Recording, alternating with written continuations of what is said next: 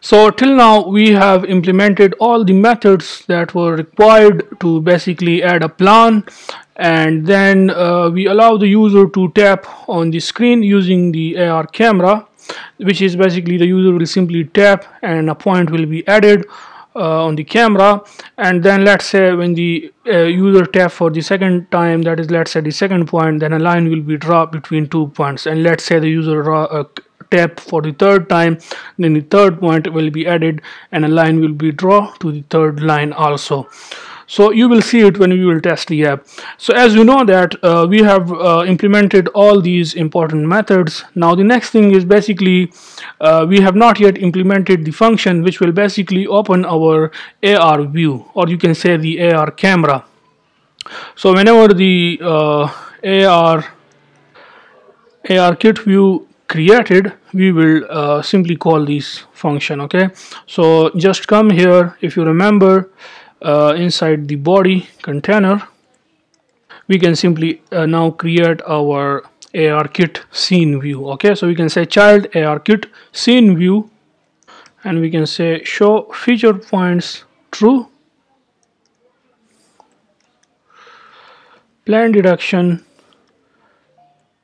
plan deduction AR plan deduction dot horizontal.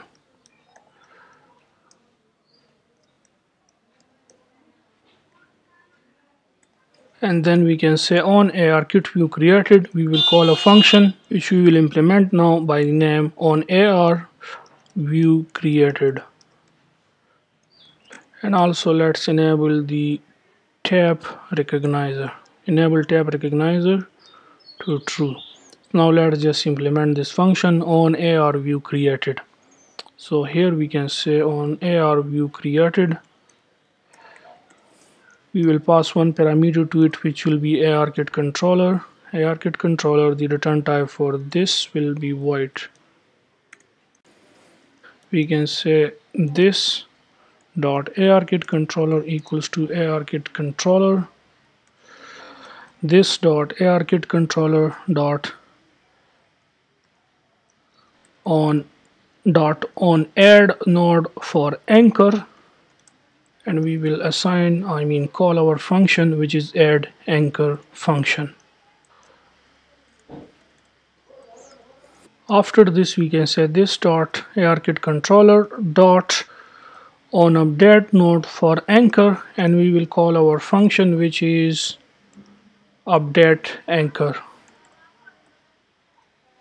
and then this dot ARKit controller dot on AR tap equals to inside the parentheses we can say list angular braces and ARKit test result.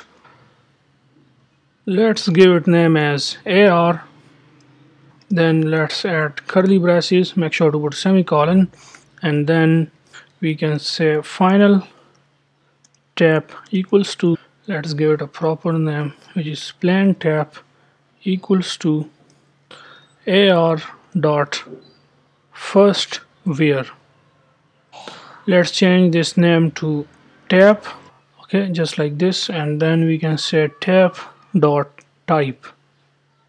If this becomes equals to ARKit hit test result type dot existing plan using extent let's move this to the next line so that we can see it more easily.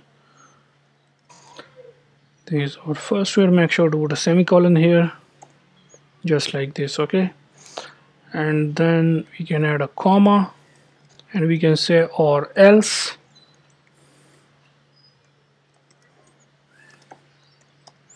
Null